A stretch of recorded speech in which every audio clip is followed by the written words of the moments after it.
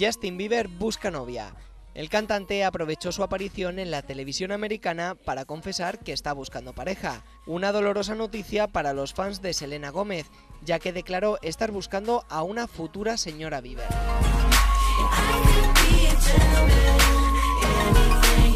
Podemos decir que el cantante tuvo unos cuantos momentos dignos de recordar durante el episodio del pasado 9 de febrero de Saturday Night Live, pero fue durante su aparición en el show de Miley Cyrus cuando la conversación dio un giro inesperado y el artista pidió disculpas a sus fans por fumar marihuana.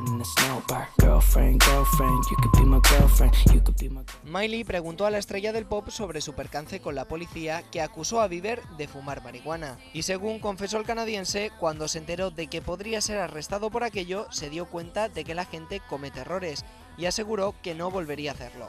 A lo que Miley contestó, sí claro, yo tampoco, mientras el público estallaba en carcajadas. No sabemos si será verdad o mentira, lo que está claro es que a estos dos, de inocentes, ya les queda más bien poco.